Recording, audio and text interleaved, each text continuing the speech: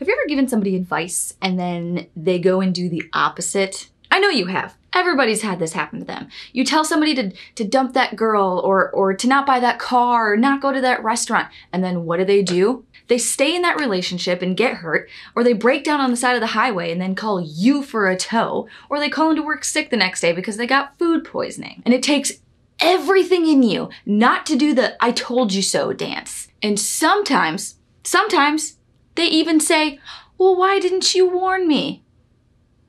I know right now that you're thinking about a time where that happened, so let us know the story down in the comments. That'll be a fun read later.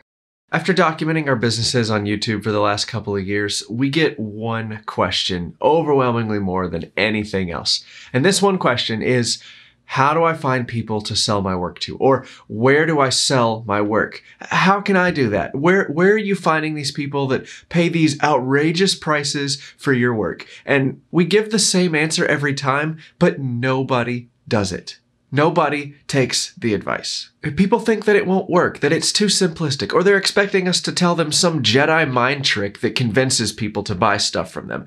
Eh, that's not how it is at all. It's it's actually a pretty simple answer. So please, please we're begging you watching this video, please be the one person on the internet that makes this video worth making. Please try this little trick. Eh, we left our active duty military jobs because this trick was earning us more money than Uncle Sam was paying. We've built two businesses on opposite sides of the country on the back of this little trick. Give it a shot. Even if you don't like us, even if you don't think it'll work, even if you think it's too simple, you have nothing to lose. It's not like you're making money with your current process anyway. I can't say that. No.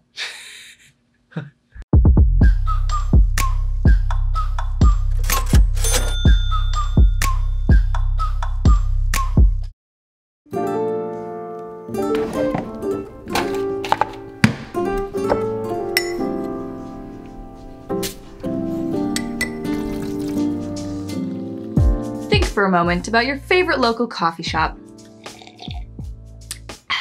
I'm guessing it's not Starbucks. Am I right? Or am I right? So if the majority of you just said that your favorite local coffee shop isn't Starbucks, then why every time you drive past Starbucks is the drive-through line wrapped around the building? Because the place you're thinking of has way better coffee for the exact same price. Like, let's admit, Starbucks coffee isn't hard to beat. So why is Starbucks more popular? Well, there's a lot of little reasons, but the main reason, if you boil it all down, is that Starbucks is better known. The unknown place is a gamble. It's uncertain and it might not be as good as Starbucks. And, and that's what a lot of people think. So they go with the safe option and they sit in a Starbucks drive through for 20 minutes to get overpriced burnt coffee four times a week. So regardless of your opinions on Starbucks coffee, I know some of you weirdos might even like it, there is a lesson to be learned here, so just play along. Better known beats better product every day of the week. So if you're trying to start a business, you need to get out there and get known. When you start a business, you can spend your time on a lot of different things. You can focus on the quality of your product, which is what most of us do. You can spend your time marketing and advertising. You can spend your time selling and networking. And we're here to say your time at the beginning is best spent getting known your product is good enough. If I could just teach all woodworkers one thing, if you're trying to run a business, your product is good enough. Stop tinkering with it.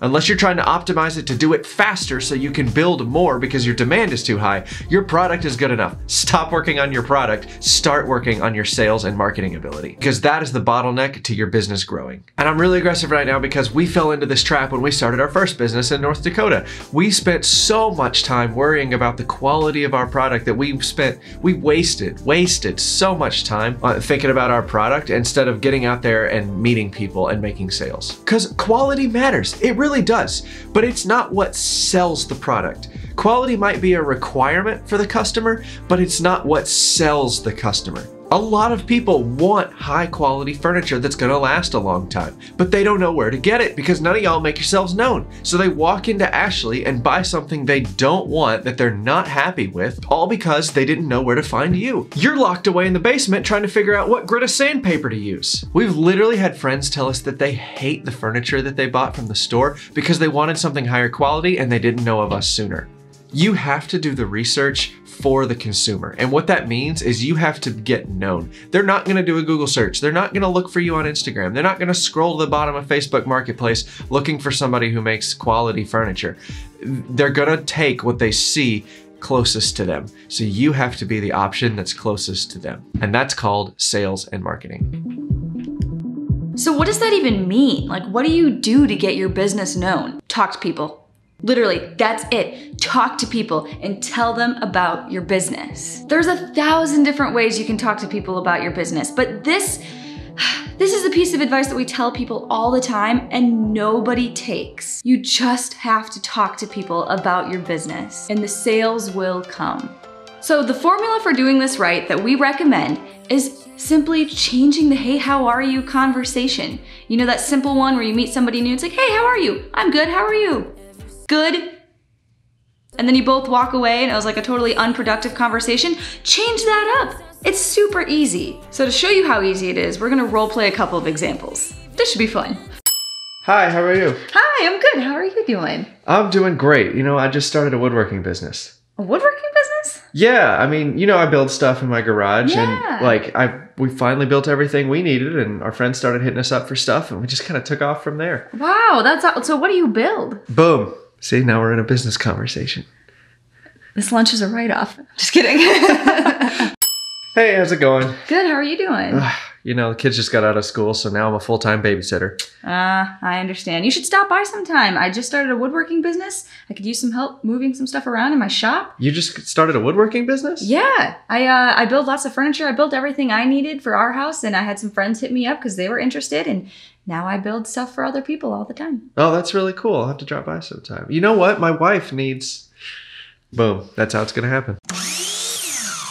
Okay, so cheesy acting aside, unless you live under a rock and have no social media, every single person has about five of those interactions every single day. Multiply that out over an entire year, that's over 1,800 interactions that you have an opportunity to tell somebody about your business. At that point, it's just a numbers game. Even a bad salesman or salesman woman can close deals with 1,800 opportunities. When you make this tiny little switch in your conversation, you're gonna get more work than you can handle. This is how we got featured in our first local magazine. It's how we started working with realtors, got referrals, made things for friends. We got our first hug of death by simply doing this trick. People are gonna start asking you left and right to build them stuff. And how do you close that first sale? That's the topic for the next Maker's Money. So make sure you subscribe, hit the bell so you don't miss it, and we'll catch you on the next one.